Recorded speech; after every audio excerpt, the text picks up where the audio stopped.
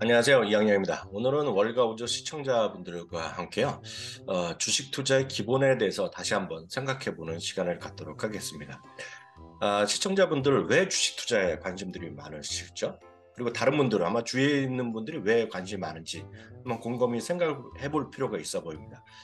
주식 투자에 관심이 큰 것은 물론 최근에 금리가 좀 올라가긴 했지만 예금과 채권에 비해서 위험도가 큰 거는 다들 알고 있어요. 아, 그렇지만 돈도 많이 벌 수 있다라는 기대감 때문에 관심이 큰 거라고 저는 이해를 하고 있습니다.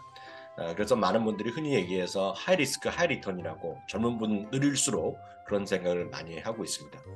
실제 투자가들은 그런 생각을 하긴 하지만 실제 투자가들은 원하는 것은 어찌 보면 다 똑같습니다. 이렇게 말씀들 나눠보고 이렇게 강연을 하다 보면 어, 위험도가 좀 작으면서 즉 손실을 날 가능성은 거의 없고 매우 작고 어, 돈을 벌면 큰 수익을 벌 수 있다라는 그런 기대를 갖고 있는 것이 사실상은 맞습니다. 왜냐하면 어, 앞으로 아무리 어, 떤 주식이 좋아 보이더라도 위험도가 크다란 말부터 하면 많은 분들이 멈칫하는 것이 대부분이기 때문에 그렇기 때문에 어, 뭐 모든 어떤 증권에 관련된 PB 분이나 전문가들 뭐 이런 분들이 얘기하는 것은 위험도가 적다는 얘기를 항상 합니다. 그렇지만요. 실제로 해보면 어떻습니까? 실제로 해보면 손실은 커지기 마련이고 수익은 쥐꼬리인 경우가 왕왕 있죠. 그래서 대부분은 실망을 많이 하고 예, 역시 이 길도 아닌가 배라는 생각을 많이 하고 있고 욕을 하기 마련이고 자괴감을 갖기 마련입니다. 그렇지만 한편으로는 그런 노력들을 계속 어, 성공하기 위해서 많은 월가의 전략가들이라든가요. 투자를 공부하는 학자들 그리고 실제 투자자들은 모두요. 리스크 대비 즉 위험도 대비 수익 즉 return이 큰 것들을 측정해서 잘 한번 찾아보려는 노력은 어, 주식시장이 현재 현대적인 주식시장이 생긴 일에 끊임없는 그런 고민이었다는 것도 다들 이해하실 것 같습니다. 결국 수많은 valuation 지표들이 있지 않습니까? PER, PBR, PSR 이런 것들이요. 좀 편하게 말씀드리면 이익 대비 얼마, 아, 매출 대비 얼마, 뭐 시가총액 대비 얼마, 뭐 이런 등등이요. 수익 대비 얼마, 그 현금 흐름 대비 얼마, 이 모든 것들은 실제로 어떤 valuation, 즉 아무리 좋은 주식도 좀 저렴하게 살려는 노력들 때문에 출발을 한다라고 보고 있습니다. 반면에 그런 valuation 지표는 많이 있지만 또 한편으로서 위험도에 대한 측정은 어, 실제로 말로만 했죠. 어, 이게 특정한 위험이 뭔가라는 것에 대해서는 이해하기 쉽지 않습니다. 아, 그래서 위험에 대한 것들도 노력을 하게 되고요. 기대되는 수익도 이런 것도 상당히 어떤 합리적으로 노력하는 연구가 뭐 끊임없이 있다라고 할 수 있는데요. 그 중에 하나가 여러분들이 많이 들어본 직한 어, 어떤 비율이 비율이 있습니다. 비율이나 지표라고 지수라고 얘기하고 있는데 막 샤프 비율 내지 샤프 지수란 거를 아마 들어본 분 많을 것 같습니다. 특히 이런 거 어디서 많이 들어보셨냐면 어, 펀드를 가입하거나 할 때요, 아니면 펀드를 상품을 가입하거나 설명을 할때 이런 것들을 많이 들어보셨고 뉴스에도 보셨을 것 같습니다. 그래서 윌리엄 샤프라는 분이요, 1991년도에 예, 이렇게 발표한 내용이 되겠는데요. 그래서 샤프라는 이름을 본인의 이름 따라서 샤프 비율 내지 샤프 지수라고 표현을 하고 있습니다. 사전적 의미는 상당히 복잡하고 통계의 어떤 그 비율 자체는 이렇게 그림을 하나 보여드리면 딱 그림 이렇게 이렇게 보여드릴 수가 있어 보입니다. 뭐 위에서 R은 자산 수익률이고 그 수, 무위험 수익률과 코스피 같은 지수의 수익률 등등등들 같이 나오는 것이 있겠고요. 그리고 아래는 이제 예를 들어서 우리가 위험도라고 얘기하는데 흔히 얘기해서 뭐 표준 편차라고도 얘기하고 다 그런 것들이 있습니다. 다만 이런 것들을 설명을 하다 보면 머리가 엄청 아프고 듣다 보면 머리가 아파서 포기하기 마련입니다. 그래서 오늘 아주 가장 쉽게 말씀드리겠습니다. 어, 우리나라에서는 펀드에 말씀드렸던 대로요. 펀드의 실적을 평가하는 데 많이 사용하는데요. 투자자가 부담하는 위험을 그 수익이 갖고 있는 수익이 얼마만큼 성과를 내겠느냐 하는지를 규정하는 것이 바로 샤프 비율 내지 샤프 지수라고 얘기하는 것인데요.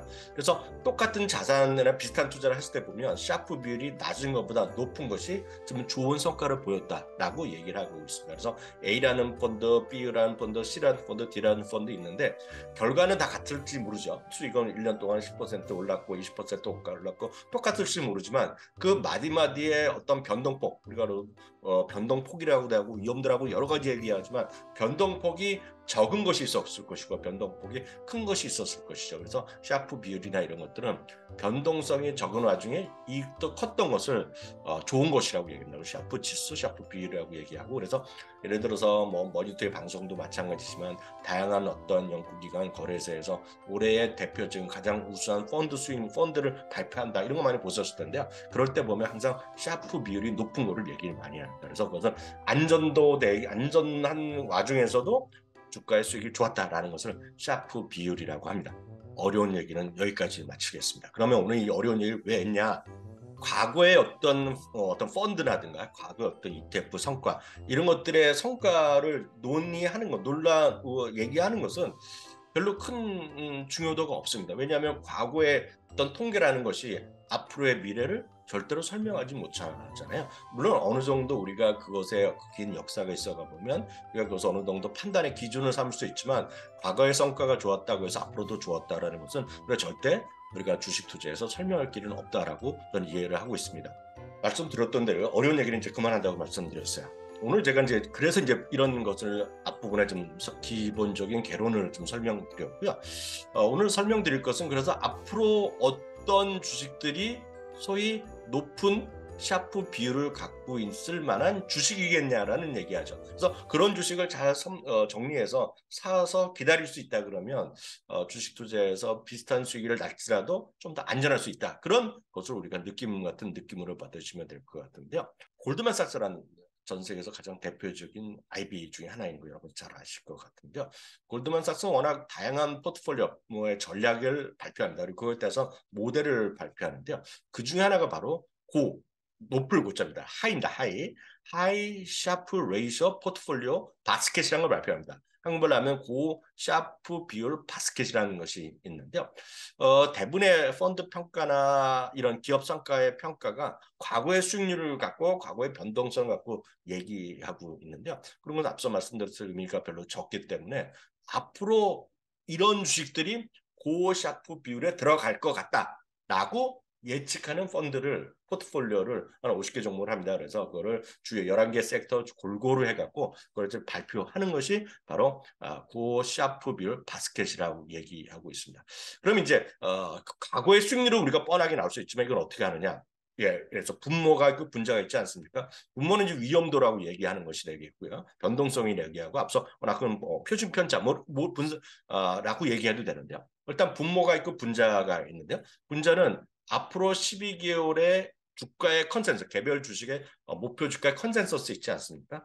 컨센서스까지의 괴리율을 우리가 어, 우리가 예상되는 예상되는 12개월 동안의 목표 수익률이라고 생각합니다. 이제 분자가 되겠고요. 분모는 뭐냐면 과거 한 6개월 동안에 이게 개별 주식은 미국 옵션이 있기 때문에 옵션의 변동성을 갖고 위험도를 평가합니다. 변동폭을 생각해서 분모와 분자를 갖고 분모와 분자를 갖고 계산하면 기대되는 그러니까 정확한 과거는 우리가 샤프 비율이라고 과거치지만 앞으로 예상치이기 때문에 앞으로 기대되는 샤프 비율이라고 만들 수낼 수가 있는 거죠. 그걸 갖고 순서대로 매기면 순서대로 매기면 종목이 나올 수 있다는 겁니다. 그래서 이런 것들을 뭐 처음 하는 것이 아니라 그 오랫동안 그 레코드가 있는 거죠.